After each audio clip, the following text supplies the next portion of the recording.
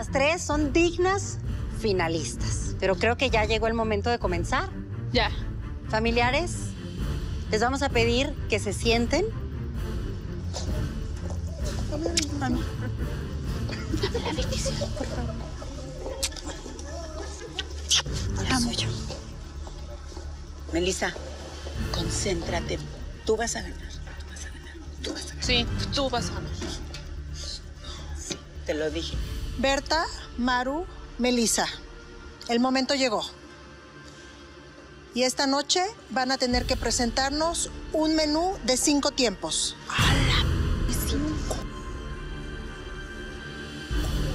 Dos entradas, una fría y una caliente. Dos platos fuertes, uno con pescado y el otro con carne. Y por último, claro está, un postre. Oído, chef. Son muchos, porque siempre habíamos hecho uno, dos, pero no de cinco. Y yo dije, sácatela. Tendrán dos horas, hora y quince para hacer el mise en place.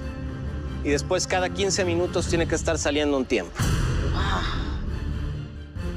La verdad se me hace muy poco tiempo, son demasiadas cosas las que tienes que hacer. Vamos a evaluar cada platillo y al final vamos a sumar una opinión. Y al final, la cocinera que mejor haya hecho su trabajo gana el título de MasterChef 2016. Oído, oído. Tengo los nervios de punta, el corazón se me quiere salir, se me llena la, la cabeza de puras cosas y, híjole, no es, no es nada fácil.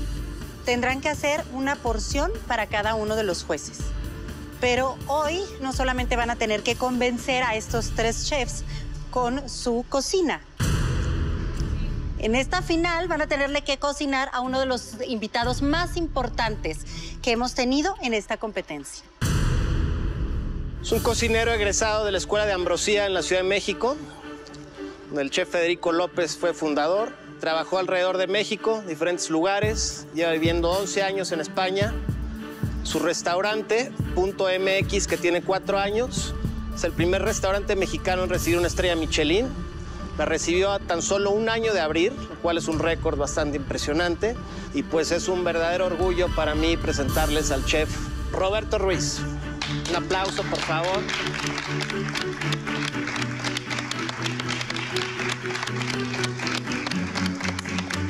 ¿Qué tal a todos? Hola, ¿qué tal, Betty? Bienvenido, Hola, ¿qué tal? Roberto. Buenas, encantado. Muchas gracias. Roberto, es un privilegio tenerte aquí esta noche tan importante. Muchísimas gracias por acompañarnos. Muchísimas gracias por la invitación. Yo también estoy encantado de estar aquí, en mi tierra, además. Encantado. Gracias. Sé que hoy tienen que hacer un menú de degustación, así es que me voy a permitir darles alguna recomendación. Yo lo que creo es que tienen que controlar bien las porciones, tienen que equilibrar bien todo lo que den para que sea un recorrido por diferentes cosas y que vayan sobre todo ascendentes, ¿no? El sabor más delicado y más fino al principio y después ir poco a poco para terminar con los sabores más potentes y que tengan como mayor presencia en el paladar. El postre es donde más se vale jugar, creo. Nosotros así lo hacemos en el restaurante, así es que les recomiendo que esa parte la disfruten también mucho para que sea como la parte más creativa. Oído. Oído. El mayor de los éxitos para todos ustedes. Encantado además de conocerles. Suerte. Gracias. Si yo creía que ya iba a ser muy difícil complacer el paladar de los tres chefs que tenemos aquí de planta, el de uno más tan importante, híjole, es, es aún más difícil, es más la presión, es un platillo más. Y sí, sí estoy, sí estoy un poquito asustada. Tendrán 15 minutos en el mercado. Oído, nena. Después de que termine el tiempo, no van a poder regresar. ¿Está claro? Oído, Está claro. Los 15 minutos en el mercado comienzan en 3, 2, ahora.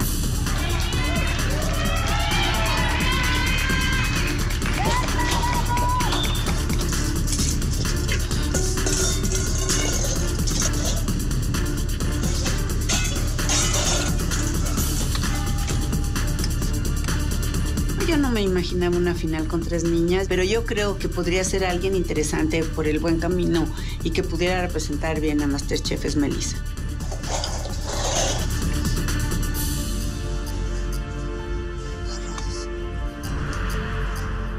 Yo me imaginaba una final con Berta y con Melissa, evidentemente. Pero Maru no es alguien que yo me esperaba ver en la final. Cocina muy bien la señora. Pero ese show de que viene por Oaxaca y no por ella, no lo creo. Perdón.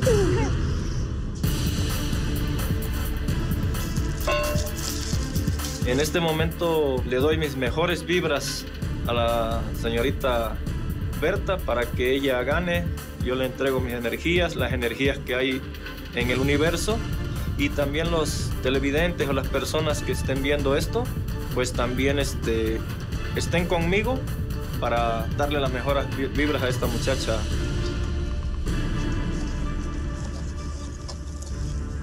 De las tres finalistas, yo veo muy fuerte a las tres, porque cada una tiene como lo suyo. Pues Melissa es muy fuerte en postres, Maru es muy buena para hacer platillos un poquito más elegantes, por así decirlo. Y si pone algo muy mexicano o algo muy tradicional, pues Berta. Entonces está un poquito parejo, pero a la vez desbalanceado de una manera muy interesante, que depende cómo venga el reto de la final, ahí se va a saber quién va a ser la... Finalistas, les quedan cinco minutos. Ay, Dios mío. ¿Ya no hay más canastas? Yo a las dos las considero súper, súper, súper fuertes. Las ventajas que tiene sobre todo Maru es que conoce de todo un poco. Y yo creo que su desventaja es quizás que a nosotros nos ve un poco menos que ella. O sea, nos ve como hacia abajo. ¿Todo hay cilantro? No lo veo. ¿Aquí está? ¿Dónde? Ah, no, el pepino allá. ¿Azúcar? Azúcar a la entrada, allá. ¿Pero no hay de la granulada? ¿Qué, ¿Qué tipo de azúcar quieres? De la granulada. Ahí están. Los fuertes de Berta son sus moles, sus salsas, sus tamales, sus tortillas. Sus debilidades, pues que solamente sabe cocinar esas cosas, ¿no? Definitivamente es limitada en su repertorio gastronómico. Y de Melissa, pues es una muchacha muy joven, con, espero, talento, no sé si para el tochito o para cocina o para repostería. A la señora Maru no le tengo miedo. A lo mejor sí en un momento sí me impuso. Pero si ella es fuerte, yo también soy muy fuerte. Y la misma capacidad que tiene ella, la misma capacidad la tengo yo. Tomate, cebolla, ajo. Último minuto.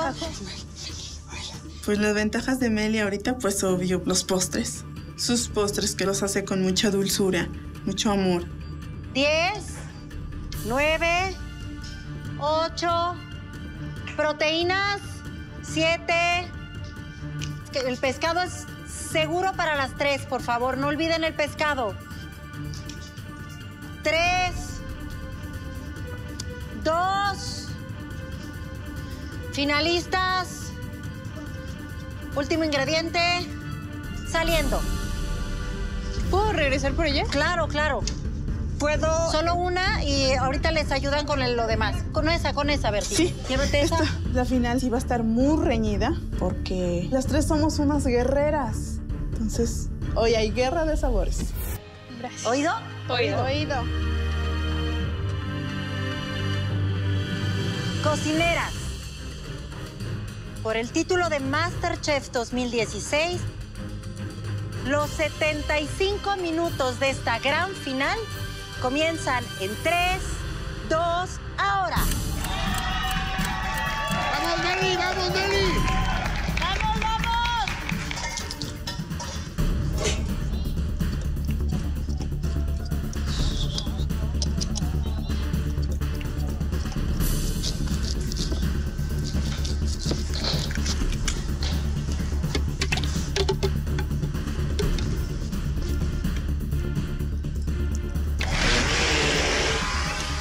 Cuando empezamos a cocinar, yo empiezo eh, en primer lugar por el postre, porque era el poquito más tardadito, porque habría que hornearlo y habría que dejar que se enfriara, que reposara un rato. Entonces yo decido por eso empezar con el postre, para que me dé tiempo.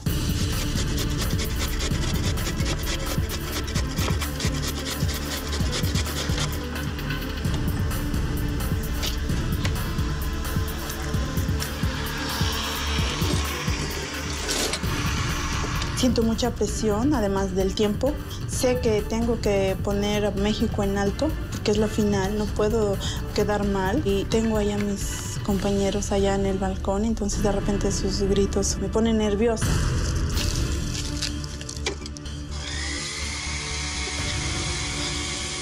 Hola, Melissa. Hola, chef. Platícanos. De entrada vamos a tener un ceviche, ese es el frío, de callo de hacha.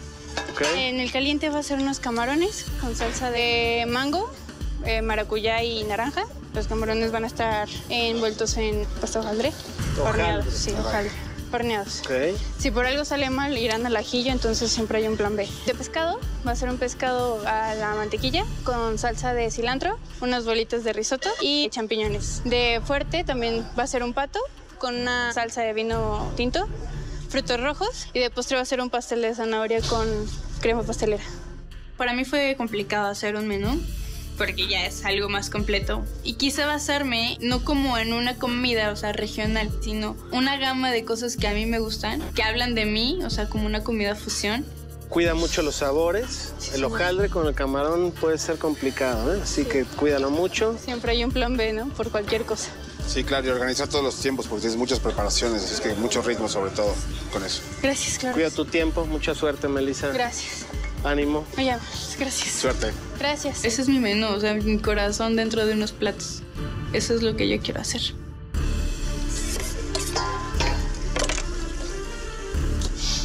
Ay, no. A ver. A ver, este, regálame 30 segundos para que me platiques Por así supuesto, más o menos. Dígame. ¿Qué nos vas a dar de comer? Le voy a dar de comer de una entrada fría, le voy a hacer un ceviche de pescado.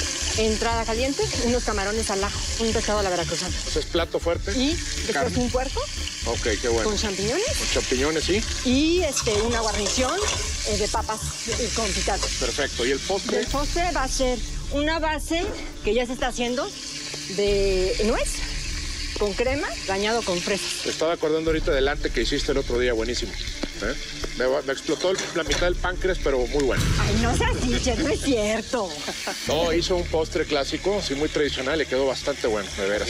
Sí, sí, sí. Tomé la estrategia de hacer algo de Oaxaca y hacer algo internacional, dadas las circunstancias. Estás relajada, no estás nerviosa, no estás tensa. No, señor, estoy bien. Qué bueno, perfecto. Así es como debe ser, porque las cocinas hay siempre mucha tensión y más cuando estás bajo tu presión de tiempo. Entonces aquí es el caso y pues veo que estás bajo control. Creo que sí. Mucha suerte y adelante. Gracias, chef. Gracias. No estoy nerviosa, no estoy nerviosa, pero sí se me hace poco tiempo, la verdad.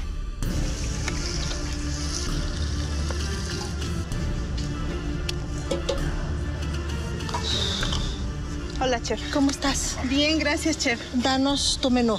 De la, La entrada fría. fría. van a ser unos aguacates rellenos de ensalada rusa. Ok. Y la entrada caliente van a ser unos sopecitos con este rajitas de, de chile poblano, De acuerdo. con choricito y papitas. ¿De acuerdo? Y el pescado va a ser el pescado con este con mantequillita y una, unos champiñones con crema. ¿De acuerdo? Y, y el, el plato El otro va a ser unos mixiotitos de lomo de, de res. Y el postre va a ser un pastel de elote. Mi menú es casero, algo mexicano y no tan glamuroso. Porque quiero demostrar que también lo casero es rico y también se puede poner en un gran plato. Mucha suerte, Berta. Gracias, chef. Tienes todo para ganar. Lo único que es serenarte, eres muy emocional. Lo emocional tiene su parte muy buena porque imprime mucho a un plato, pero también te pueden traicionar los nervios. Sí, yo los he hecho. Muchísimas Ánimo y gracias. control, ¿eh? Para que Gracias. vaya todo muy bien y mucha suerte. Muchísimas gracias, chef. Gracias, De chef. nada.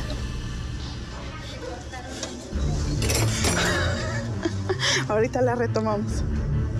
Estoy corriendo ese riesgo de que Doña Maru quiera hacer algo muy gourmet, o Meli también. Pero yo ahorita vengo representando comida tradicional.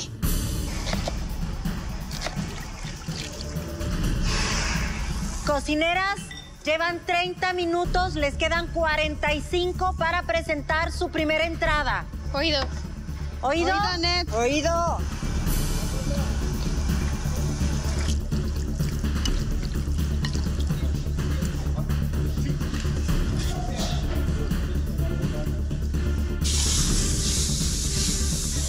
Entrada le puso en un sartén quemado. Por no ir por otro. Tienes toda una vajilla aquí. Sartén. El lomo le falta, Fer, le falta. Es que aquí no lo comen bien cocido. No es como en la casa. ¿Lo, lo vas a hornear, Maru? Sí. Ah, ok.